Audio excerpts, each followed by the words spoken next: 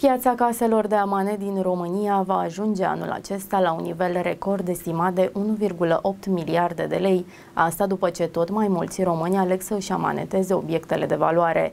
În 2022, cifra de afaceri a pieței caselor de amane din România a crescut cu 23% față de anul precedent și a fost de două ori mai mare decât în 2013.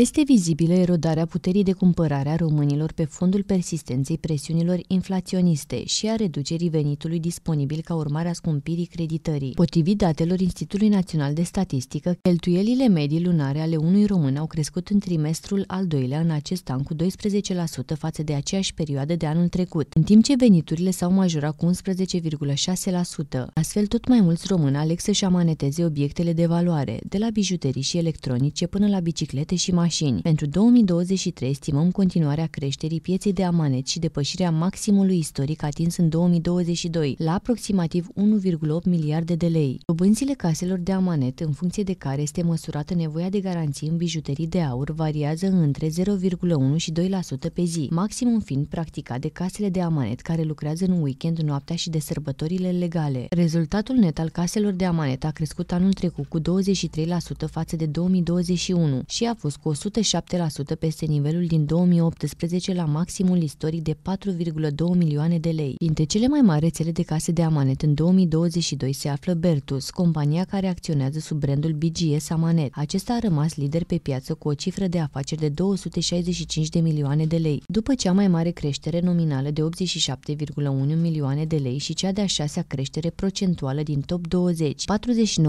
49% față de 2021. În ceea ce privește numărul mediu de angajați angajați din piața caselor de amanet, acesta a scăzut cu 3,9% față de 2021 și a fost cu 18,4% sub nivelul din 2018 la aproape 4600 în 2020, relatează știrile protv.ro.